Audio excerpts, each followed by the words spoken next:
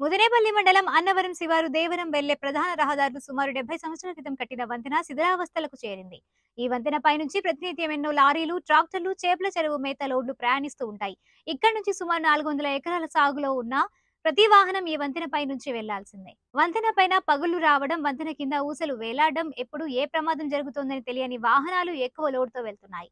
ఇది గమనించిన కోఆప్షన్ సభ్యులు అల్లా బక్షు స్పందించి ఎప్పుడు ప్రమాదం జరుగుతోందని ఆందోళన చెందారు. జరగపోపేను ప్రమాదం గురించి వారికి సంబంధించిన అధికారులను పరిశీలించవలసిందిగా కోరారు.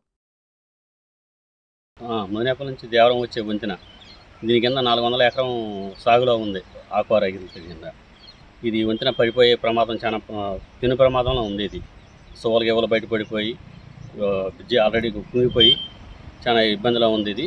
దీన్ని వెంటనే దీనికి సంబంధించిన అధికారులు వెంటనే స్పందించి చర్య తీసుకోవాల్సిందిగా కోరుతున్నాను